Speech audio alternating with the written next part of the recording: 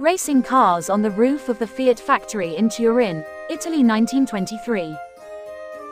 Back in 1956, a Pan plane was needed to, to transport a 5 megabytes hard drive.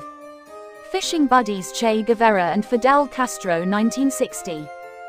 The first international match at Wimbledon in 1883. The 1937 walking machine tested wear on shoes 1937. Elephants know how to have fun. Just ask Queenie, the first one to water surf circa 1950. A navigation hotline in 1963. Long, long before Google Maps. The only photograph in existence of infamous outlaw Billy the Kid 1879. Gabby Hartnett signs a baseball for Al Capone's son 1931.